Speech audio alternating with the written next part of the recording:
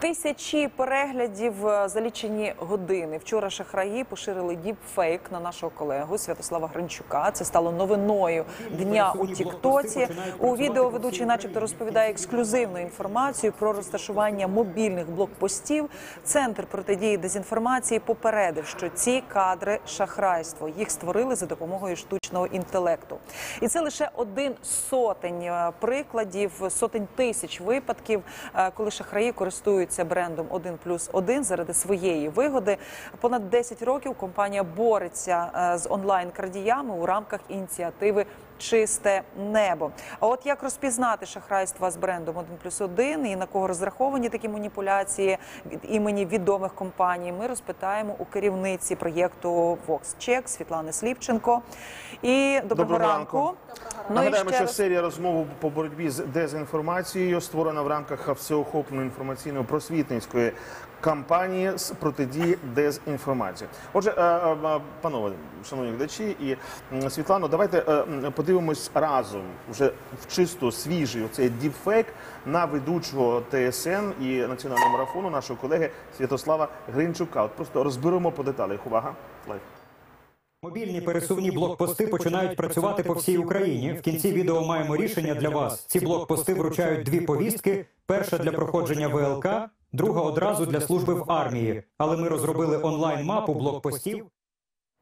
Ну, спочатку, як розпізнати пересічному користувачеві і, і мережами, що це фейк? Перш за все, треба бути уважним до деталей у таких відео, адже у діпфейках, е, тобто у відео подібних до таких, які створені із використанням штучного інтелекту, коли на реальне відео із вашим ведучим за допомогою програми штучного інтелекту накладають. Будь-який потрібний текст, абсолютно. Причому його можна накласти будь-якою мовою. Може ваш ведучий і польською заговорити, і будь-якою Але іншою. доволі насправді. реалістично, як ми бачимо. Реалістично, однак деякі відмінності існують. По-перше, lip sync, тобто рух губ, може місцями не збігатися зі звуком, який вони мають видавати, тобто із текстом. Можна почути деякі перебільшення інтонації ведучого, тобто, попри те, що програма доволі добре імітує голос, вона все одно трохи його гіперболізує. Також відсутність е, фонових звуків, наприклад, фірмових звуків вашого телеканалу.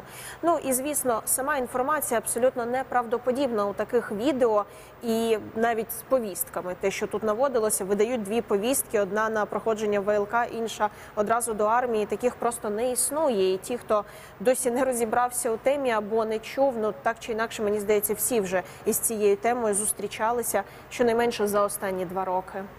Ну от е, ми вже розвінчували також е, е, у цій студії Діпфейк з Соломією Вітвіцькою з нашою колегою, яка, начебто, розповідає про те, що продаж пального на АЗС за військовими квитками. І тоді шахраї це зробили для збільшення підписок на свій тікток канал. Але фінал цього шахрайства неочікуваний. Цей діпфейк тепер масово ширять росіяни як вибухову новину про мобілізацію на українських е, заправках. Тобто шахраї в цьому випадку зіграли ще й на руку Росії. Так, абсолютно так і відбулося. Пропагандистів тут, е, як би це не звучало, але можна зрозуміти, навіщо створювати власний контент, якщо шахраї вже зробили це замість них. І їх задача, задача пропагандистів лише вловити тему, яка зараз найбільше хвилює українців. А за останні е, два місяці у зв'язку із е, дискусіями щодо законопроекту про мобілізацію, ця тема стала надзвичайно чутливою. Вона дуже багато обговорюється. Новини про це масово шукають, на них активніше реагують.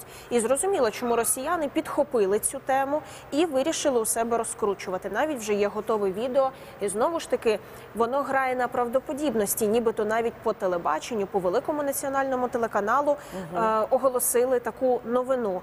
Але насправді знову таки маємо справу із діпфейком, і на жаль, маємо справу із тим, коли шахрайство просто вже вийшло з під контролю, і коли не лише йде накрутка кілька підписників на сторінки цих шахраїв, які, е, до речі, також можуть переслідувати різні цілі або просто збільшувати охоплення своїх соцмереж таким недоброчесним шляхом.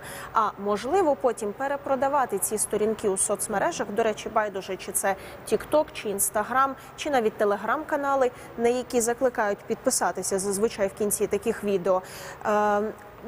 Можуть їх перепродавати і, до речі, росіянами. І потім також там може з'являтися відверта російська пропаганда. А Наталя Мосичук рекламує ліки від діабету начебто. І шахраї навіть створили цілий сюжет з діпфейку.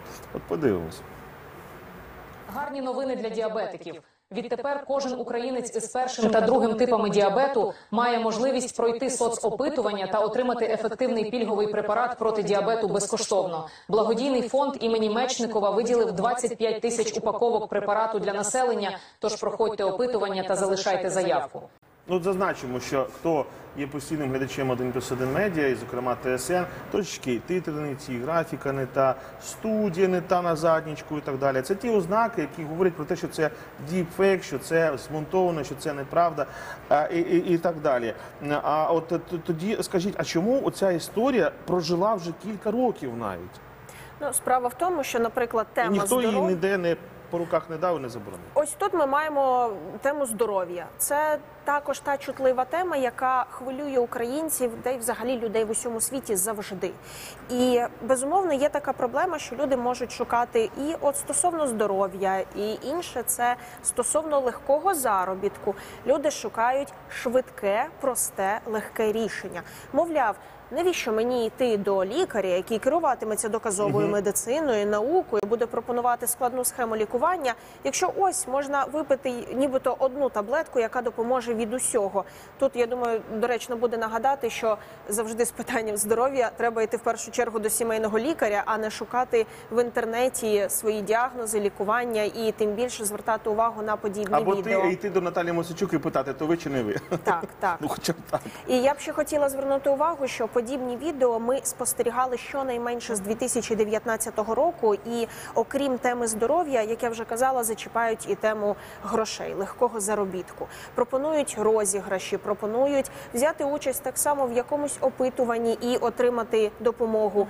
І тут дуже багато шахрайств може бути пов'язано із вашими персональними банківськими даними. От, власне, як уберегтися від таких шахрайських схем з використанням е, брендів е, ваших особистих, і чому куди треба скаржитись, і чому важливо це зафіксувати і е, поскаржитись на такі діпфейки і шахрайства? Поговоримо за мить.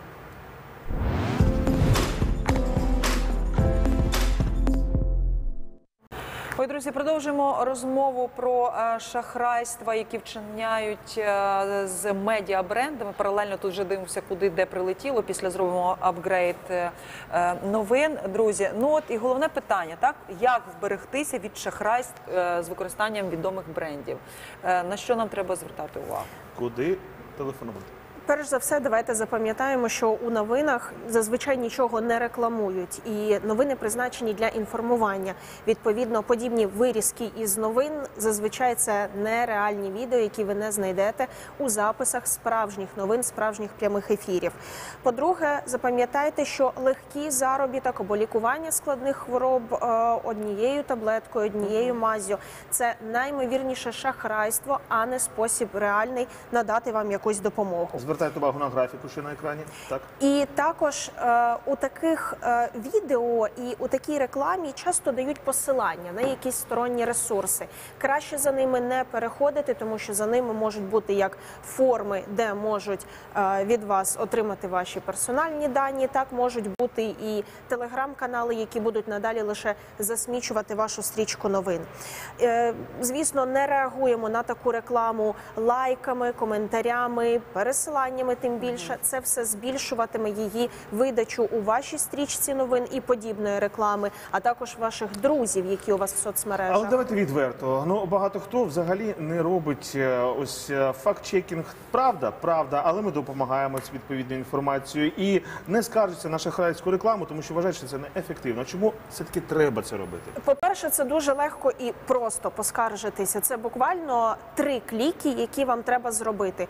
Наприклад, у Фейсбуці Фейсбуці, байдуже ви з телефону чи з ноутбуку. У будь-якому дописі ви побачите у верхньому правому кутку три крапочки. Натискаєте на них, натискаєте із опцій, що зробити, поскаржитися і обираєте причину скарги. Клацаєте все три кліки, які вам треба зробити. Аналогічно це працюватиме і в інстаграмі. Аналогічно можна скаржитися у телеграмі, але найбільш ефективно із того, що я спостерігала, Фейсбук і Інстаграм.